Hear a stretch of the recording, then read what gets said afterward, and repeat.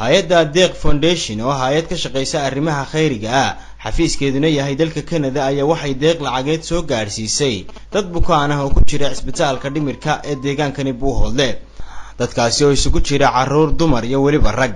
Iyadoona bukaan kasta la guddoonsiiyey lacag gaadhaysa labaatan dollar hay'adda deeq foundation ayaa sidoo kale bishii rabadaan markii laga baxay waxa ay deeq raashina soo gaadhsiisay. Dadka qaba xanuunka dhimirka ee ku jira cisbitaalka dhimirka ee deegaankani buuhoodle iyadoona deeqdaasi u soo marisay maxamuud axmed cali oo isagu xubin ka ah hay'addaasi islamarkaana u jooga magaalada buuhoodle ee xarunta gobolka cayn. Waxaana lacagtaasi hadda hay'addu soo gaadhisay dadka bukaanka ay qaba xanuunka dhimirka islamarkaana aan lahayn miir iyo maskax ku deeqdan la soo gaadhsiiyey dadka qaba xanuunka dhimirka ayaa waxaa ka warbixiyey wakiilkii hay'adda deeq foundation ay u soo wakiilatay lacagtani maxamuud axmed cali oo loo yaqaana macow. Bismi illaahi raxmaan raxiim alxamdu lilaahi rabbi lcaalamiin wasalaatu wasalaamu calaa rasuulillahi sala allahu aleyh wasalam maanta oo bishu ay tahay labaatankii bishii tobnaad laba kun iyo saddex iyo toban. Waxaa noo shuuro gashay ilaahay mahadii inaan qaybino deeq ayna soo gaadhsiisay hay'adda deeq foundation dalka canada. Deeqdaas oo ahayd deeq lacageed kana kooban shan boqol oo dollar. Deeqdaas oo loogu talagalay dadka dhimirka la ee buuhoodle ilaahay mahadii dadkaasi waa gaadhsiinay deeqdii. Haddana waxaan deeqdaas gaadhsiinay shan iyo labaatan qof oo qofba qismi uun uu qaatay labaatan dollar ilaa shan iyo toban dollar inta udhexaysa baa siinay alxamdulilah waan ku mahadinaynaa deeqdaas iyo deeqo hore oo ayna soo gaadhsiiyeen hay'addaasiba iyo waxqabadka iyo kaalmeynta dadka walaalahooda oo jilicsanba waa uga mahad celinaynaa waxaan kale oo aan u sheegaynaa in dee hawsha ay fari kama qodno faan noole halkooda inay ka sii wadaan oo walaalahooda baahida ay qabaan iyo waxa ay u baahan yihiinba waa ogyihiin ay kaalmeeyaan iyaga iyo dadka kale oo muxsiniinta ahiba oo soomaaliyeedba deeqdaas deeqo ka horreeyay baa jiro hay'addini ayna soo gaadhsiisay.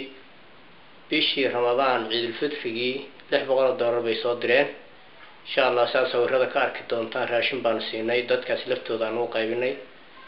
Wejiyadooda hadda ah iyo wejiyadii horeba waad arki doontaan. Waana uga mahad celinaynaa kaalmadaas joogtada ah iyo ka warqabidaasba dee dadkay dadkii weli waa baahan yihiin meel lagu xanaaneeyo lama hayo. Meel hanti lagu lagu xanaaneeyo oo wax lagu siiyo lama hayo. Waadna arki doontaan dadka waalan oo aan wax u qaybinay iyo noocyada ay yihiin annaga oo kuwo badan oo ka mid ah aanu awoodi weynay inaanu soo sawirno. Qaar qaawan iyo kuwa xidhxidhan iyo kuwo wax walba leh. Caa-ilaad iska dhan baanu baanu u tagnay oo ama magaaladan joogo oo dhammaantood intay leegyihiin reer ka kooban toddoba qof oo saddex qof oo ka mid ihi waalan tahay reer ka reer ka tir ka mid shan qof ah oo laba qof oo ka mid ihi waalan tahay oo silsila ku xidhan yihiin. Inta kalena dee morally ay iyaga laftooda aada arkayso inayna kuwa waxba kaga duwanayn.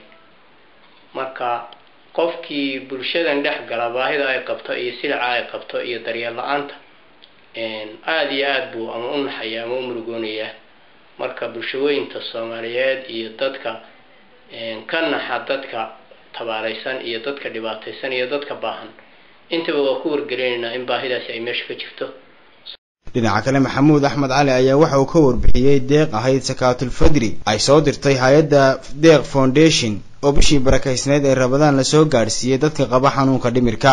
Alxamdu lilaahi rabbi alcaalamiin wasalaatu wasalaamu calaa rasuulillahi sala allahu aleyhi wasalam waxaan halkan ku qaybinay sakaatulfitridii walaalo reer kenada ah ay soo direen oo wakiilka ahaa maxamed mahdi iyo axmed deeq diiri maxamed diiriye axmed deeq maxamed diiriye iyo maxamed mahdi ayaa soo diray lix boqoloo dollar bay ahayd. Qof kasta waxaanu siinay wixii ilaahay u qadaray bariis iyo daqiiq iyo saliid ayaanu siinay. Insha allahu qaybta dambena waa siin doonaa lacagtii aad noo soo dhiibteen oo lixda boqol oo dollar ahayd dadka aad ugu tala gasheen oo dadka waalan ahaa waanu guddoonsiinay. Alxamdulilah ilahina waa magaalada buuhoodle ee xarunta gobolka cayn ayaa waxaa ku dhaqan bukaan tiro badan islamarkaana u baahan kaalmo joogtaa waxaana laga codsanayaa guud ahaanba hay'adaha samafalka iyo dadka islaamka. Meel kastoo ay ka joogaan daafaha caalamka inay soo kaalmeeyaan dadka bukaanka ee qaba xanuunka dhimirka ee ku dhibaataysan deegaankani buuhoodle